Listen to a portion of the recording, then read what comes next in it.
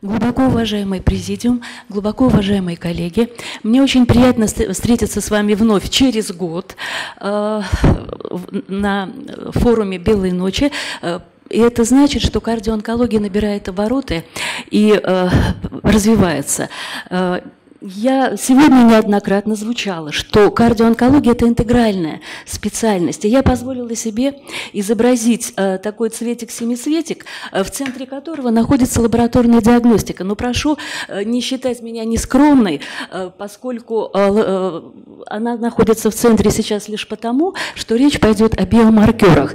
А если мы все-таки все специальности, которые решают проблемы кардионкологии, соберем в единый цветок, то мне представляется, представляется, что это будет цветущий, роскошный пион в замечательную пору белых ночей в июне. Итак, э, в фокусе кардионкологии находится, конечно же, кардиотоксичность.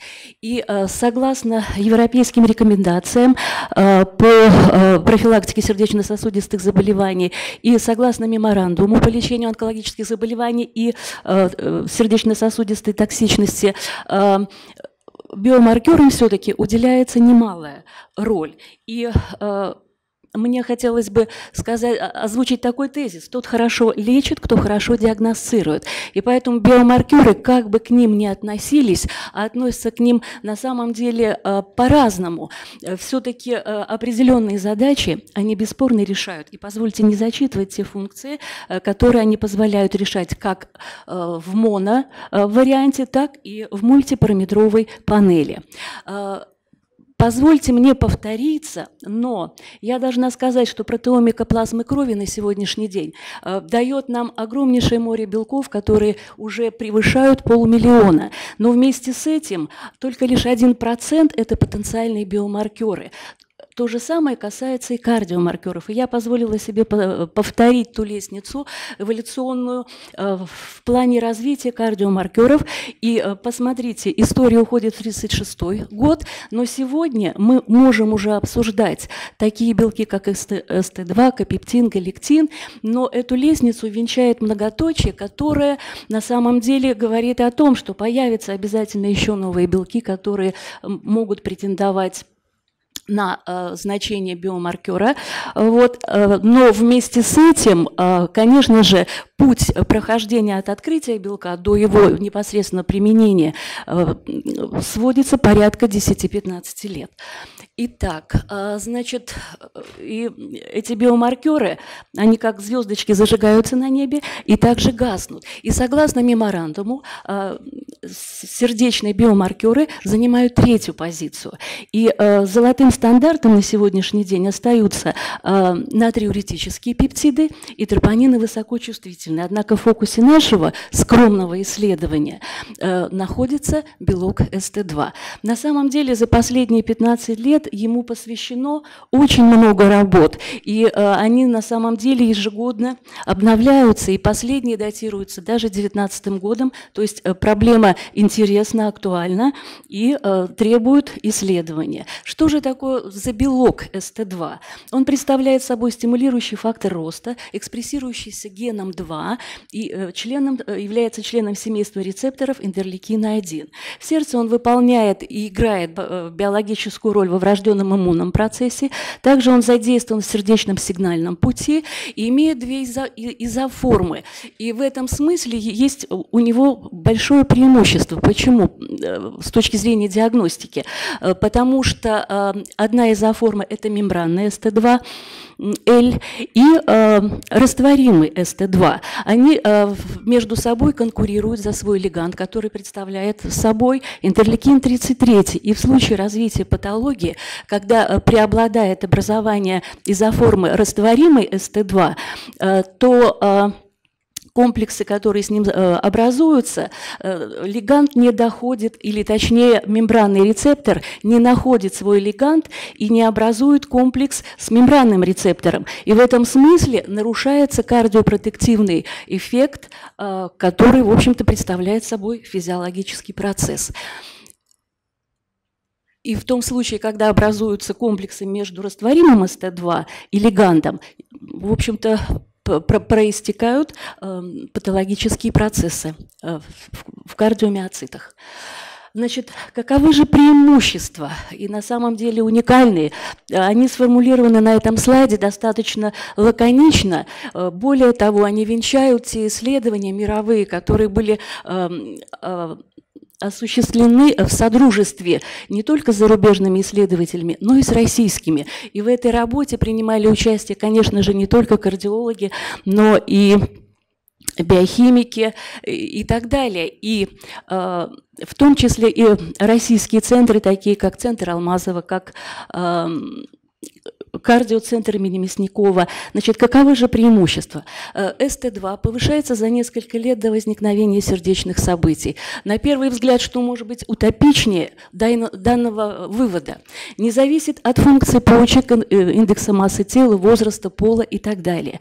Является маркером отторжения трансплантата при пересадке сердца, позволяет предотвратить риски или снизить риски повторной госпитализации в течение 30 дней и э, снизить риски внезапной смерти также э, э, примерно э, за месяц. И нужно сказать, что на сегодняшний день СТ2 входит э, в гайдлайны Американского общества кардиологов с 2013 года. Входит также в гайдлайны и Вьетнама и Тайваня с 2015 года. И э, нужно сказать, что, опять же, по итогам многочисленных исследований у СТ2 есть еще и преобладание над натриуретическими пептидами. И э, позвольте представить наши скромные исследования, собственно, которые были посвящены тому, какому же кардиомаркеру в оценке кардиотоксичности отдать предпочтение. На самом деле исследование пилотное, поисковое, э, и на протяжении за небольшой период времени в него вошли 125 пациентов. Э, здесь дана краткая характеристика, и вы поймете, что это количество больных или это выборка больных, она совсем неоднородна и выглядит следующим образом. Значит, во главе стоял главный фактор – это химиотерапия, неоадъювантная химиолучевая терапия. Э, пациенты, которые получали химиотерапию, это 25 пациентов, значит, с лимфопролиферативными заболеваниями 18 человек и с солидными опухолями 7 человек. Как видно, какие-то статистические выводы сделать здесь очень трудно, потому что э, когорта, выборка пациентов очень маленькая, неоднозначно. Эти схемы химиотерапии, которые использовались у больных с лимфопролиферативными заболеваниями, они разнородны, э, то есть э, неоднозначны, и, естественно, э, в общем-то, э, манифестируют о э, подходе э, персонализованном в лечении э, больных, э, гематологических больных. Э, что касается больных солидными опухолями, которых всего лишь 7 человек, э, значит, несколько пациентов проходили монохимиотерапию доцитокселом и полихимиотерапию, которая также представлена, разные сочетания химиопрепаратов, представлена на слайде. Значит, что касается больных с колоректальным раком, которые представлены, представляют достаточно большую группу, 100 пациентов. Э, это, в общем-то, итоги этого исследования нас очень приятно заинтриговали, если можно так сказать. Э, первая группа – это больные без сердечно-сосудистой патологии, э, среди которых были тех, кто не получал химиолучевую терапию в неодевантном режиме, и те, которые получали. И вторая группа – это уже с выявленными сердечно-сосудистыми нарушениями, которые также не получали и получали хим, э, химиолучевую терапию. Какие методы были использованы? Для э, исследования. Э, тропонин высокочувствительный и натрий э, НТ пробнп мы определяли на анализаторе ПАТФАС, который считается одним из высокоинструментальных методик, которые позволяют более точно определять эти метаболиты. И СТ2 мы определяли при помощи э, иммуно, э, набора, теста набора американского производства, э, который на самом деле не предназначен для медицинских целей, только для научно-исследовательских.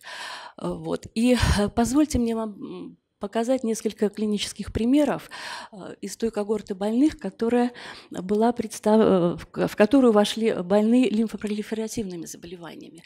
Больная 34 лет, позвольте, диагноз не зачитывать, он, так сказать, представлен на слайде. Э, значит, Б-клеточная лимфома. Э, больной было проведено два курса полихимиотерапии. И вот перед третьим курсом мы посмотрели этот тест. То есть на самом деле выбор пациентов был очень такой хаотичный. То есть мы шли по факту, то, что нам было сегодня доступно и сейчас. И что же мы увидели? Что э, ей, кстати, был сделан была сделана эхокардиография, вот, которая э, не, нашла, не выявила каких-либо нарушений, и э, функция выброса левого желудочка составила 59%. ЭКГ патологии не выявила. Но что же мы увидели по маркерам? Э, высокочувствительный тропонин э, совершенно был адекватен. НТ-пробнп также укладывался в референсные значения, однако СТ2 превышал ту точку котов, которые ориентируют нас на наличие и развитие неблагополучных событий в сердце извините, в сердечно-сосудистой системе. Вторая больная 23 лет. Картинка тоже, в общем-то, аналогичная. Э, мы получили э, повышенным только СТ2, который, в принципе, уже превышал почти в два раза э, точку котов. Если говорить о больных э, с улитными опухолями, то мы, э, здесь представлены две пациентки с раком молочной железы, э, у которой у одной было проведено 6 курсов монохимиотерапии. Вот, и мы также видим, что высокочувствительный тропонин и НТ-пробнп молчат, но СТ2 превышает референсные значения. И спустя два месяца, а, поскольку эти исследования проводились ретроспективно, а, заключение кардиолога, кардиомиопатия на фоне а, химиотерапии, хронической сердечной недостаточность с сохранением функции выброса 58%, перикардит и так далее. И вторая больная, она более сложная, если вы прочитаете диагноз, то это совершенно очевидно. В этом случае э, повышены НТ-пробнп, СТ2 вместе. И что же было на ЭКГ показано? Кальциноз, фиброз стенок э, и корня аорты, э, Фракция выброса достигала нижней границы нормы и диастолическая дисфункция левого желудочка. Значит, э, на данном слайде я вам просто хочу показать значит, те больные, которые прошли те больные, которые были подготовлены к хирургическому этапу лечения после э, проведения неодевантной химиолучевой терапии, и те, которые не имели ее э, как таковой. Значит, здесь мы видим, что э, высокочувствительные тропонины колеблятся, но не превышают референсных значений. Уровень НТ-пробнп также укладывается в референсные значения. Исключение составляют лишь больные, которые имели в анамнезе сердечно-сосудистых сосудистую патологию, и вместе с этим э, получали э, химиолучевую терапию. Но э, если учесть, что клинически значимые значения НТ-пробнп это 400, то, естественно, мы э, можем здесь колебаться о итогах. Вот. Что же касается СТ2, то э, мы увидели, что даже у больных без наличия сердечно-сосудистой патологии э, значения СТ2 превышают точку котов. А э, у больных сердечно-сосудистой патологии они э, в группе с химиолучевой терапией в неодевантном режиме э, тоже значительно выше и превышает точку котов. На этом слайде показано просто сравнительное отношение, соотношение каждой из групп относительно пациентов, которые не получали химиолучевую терапию. И мы также видим, что СТ2 в данной ситуации идет потихонечку в гору и превышает э, референсные значения. Таким образом, исследования концентрации СТ2 дают многообещающие результаты в выявлении э, субклинической кардиотоксичности во время лечения рака, имеют потенциал для выделения группы пациентов, которым грозит риск развития кардиотоксичности до начала терапии рака, как в самостоятельном режиме, так и в рамках мультипараметровой панели. Но что же делать все-таки дальше? Э, с, эм, этим метаболитом, который открывает такие потенции в оценке э, кардиотоксичности. СТ2, то есть вопросов достаточно много. СТ2 как терапевтическая мишень, использование СТ2 как терапевтического механизма, какому тесту, каким лабораторным технологиям отдать предпочтение, с какой частотой и когда проводить исследования и так далее. И на самом деле мы стоим уже на пороге протокольного исследования, э, основываясь вот на тех скромных результатах, которые я вам показала. Но должна сказать, что только вместе, объединяя наши усилия в кардиоонкологии с онкологическими пациентами, которые э, подвержены э, высокодозной химиотерапии, лучевой терапии, их сочетанию и так далее, э, и только проспективные многоцентровые в согласованном дизайне исследования нам помогут решить проблему и помогут выработать или найти такой биомаркер, который будет отвечать всем требованиям, как в самостоятельном режиме, так и в мультипараметровой панели. Спасибо за внимание. А можно, можно вопросы, комментарии, да? Да, конечно. Вы знаете, ну, может быть, с точки зрения того, что я смотрю как э, онколог, у меня возникает масса вопросов, mm-hmm. и, может быть, кардиологи как раз здесь больше с вами согласятся.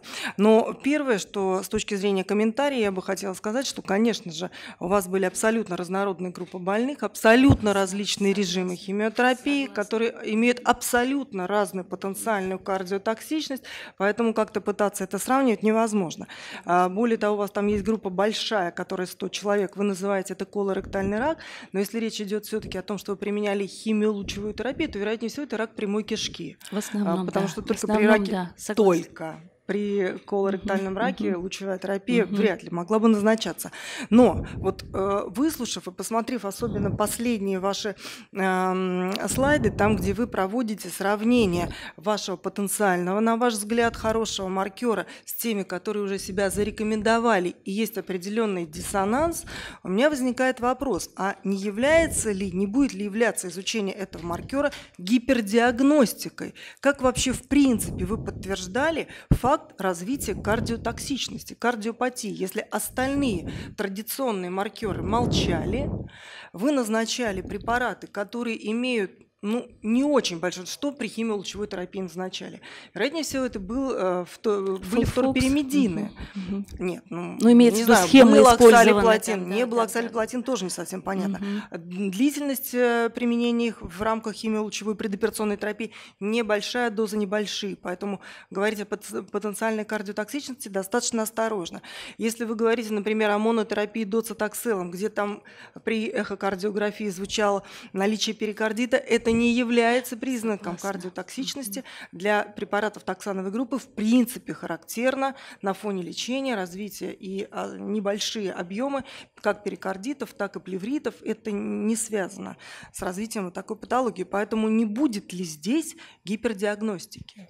Вы знаете, вопрос, конечно, совершенно справедливый, и я еще раз повторю, что я изначально сказала, что данные очень противоречивы. Но интерес к этому белку, он бесспорно существует, и, конечно, в поиске чего-то нового мы пошли по этому пути. Вот. Что касается тех традиционных э, тестов, которые используются на сегодняшний день и общепризнаны, на самом деле тоже вопросов больше, чем ответов, потому что то, что касается высокочувствительных тропонинов, которым тоже отдается приоритет во многом, на сегодняшний день появилось столько инструментов, которые несут в себе уже разнородность получения результатов, то есть сравнивать их очень непросто. Почему я сегодня и завершила э, вот свой доклад тем, что для того, чтобы все-таки найти э, тот маркер, который нам поможет сегодня решать проблемы кардиотоксичности в онкологии, мы должны договориться, какой инструмент мы используем, на какой когорте больных, при каких схемах химиотерапии, терапии или э, химиолучевой терапии, и только после этого мы сможем сделать окончательный вывод. Спасибо большое. Вот у меня тоже есть вопрос, такой более практический, может быть. Вот скажите, пожалуйста, Марина Викторовна, э, вы когда получали данные о повышении СТ2, влияло ли это как-нибудь на тактику ведения этих пациентов? Э, скажу честно, что нет. Это никак не влияло, потому что это была действительно поисковая работа. Более того, те э, результаты, которые представлены, они носили ретроспективный характер.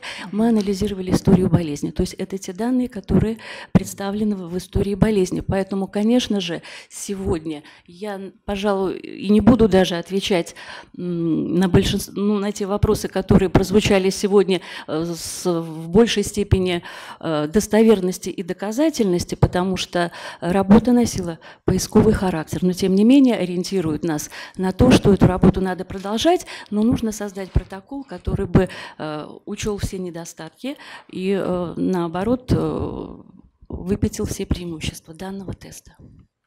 Спасибо, с вами согласны. наверное, стоит запланировать перспективные исследования более однородных групп пациентов. Мы вот начали тоже небольшую работу такую. Ну, я думаю, что будет результат, тем более, что на самом деле уже клинические рекомендации э, в Америке вошел этот биомаркер, то есть на самом-то деле имеет значение его повышение. Просто нужно определить место его в данной области, в нашем определении кардиотоксичности. Я могу еще добавить, если позволите, что вот тот набор, который мы использовали, он пока только для экспериментальных исследований, но на самом деле он уже, так сказать, э, проходит определенные этапы э, его регистрации. И как только это будет завершено, я думаю, что тогда это можно будет делать э, ну, более широко, да, более широко.